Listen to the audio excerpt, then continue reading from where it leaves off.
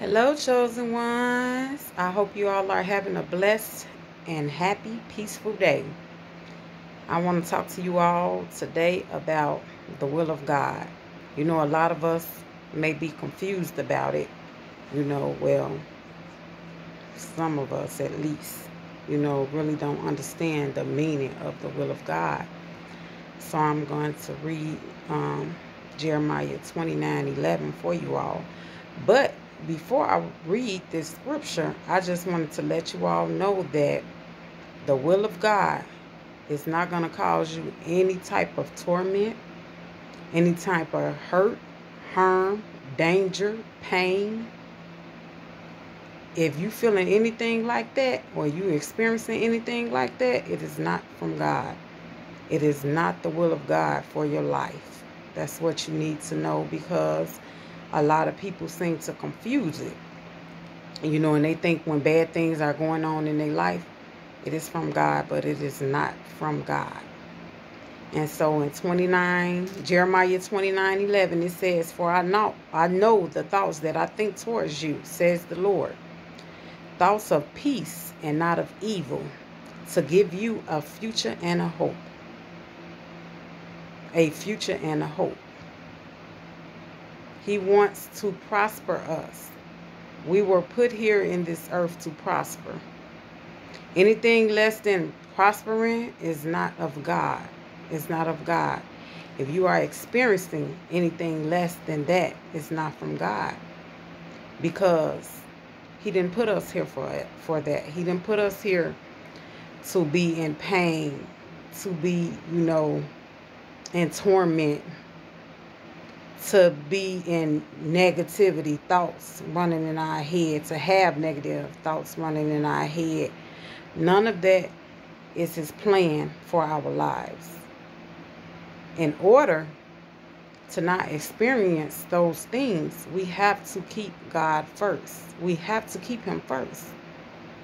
There's no way around it. There is no way around it because when you decide to go your own way, that's where all this other stuff happened like the distractions and things that comes along in your life the torment. That's where it come from. The pain the hurt the doubt the anxiety the stress. I mean it's a whole list of things that happen to us when we decide on our own selves in our own minds not to follow God's plan for our life, His will for our life. I'm going to go to another scripture. Um, I'm going to go to Matthew 6, uh, Matthew 6 33. My favorite, my favorite, one of my favorite scriptures. And it is, You shall seek the kingdom of God first. And all those things will be added to you. Everything, everything will be added to you. Whatever you need, it will be added to you. As long as you keep God first, it will be added to you. Don't you all never forget that. You must keep God first in order to receive your blessings. Everything that God has for you, in order for you to receive it, you have to keep God first. Matthew 6 33. Seek God first. I'll give you all one more scripture. One more scripture. This one is in Hebrews. And it is Hebrews 11, verse 3. By faith, we understand that the worlds were framed by the word of God, so that the things which are seen were not made of things which are visible. So, what that means is everything in this world that exists is in the spiritual realm. Is in the spiritual realm. So when we want things, we have to pull it from the spiritual realm. We have to pull it from the spiritual realm. If you want it the right way, if you want it the right way. Yes, we can get things. We can get things. We can go and buy a car, a house, and, and whatever you want to do. But Pull it from spiritual realm. Pull it from your spirit. Pull it from the spirit. Pull it from God's will. And you will get your heart's desire. You will have your heart's desire with no turmoil, no pain, no hurt, no danger if you do it God's way. If you do it God's way. And once again, the will for your life is to prosper. Is to prosper. God has plans for us to prosper in life. To have peace in life. So you seek his face first.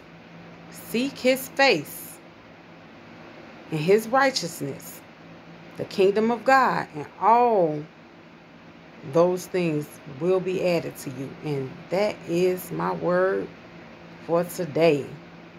For today. The will of God is to prosper you, is to not harm you, is to give you peace, a future and a hope, a future, a future and a hope. So when you are not lacking those things, when you are lacking those things, I'm sorry, in your life, it is not from God. And don't never get forget that it is not from God. Because God is love, God is peace. God is joy. God is happiness.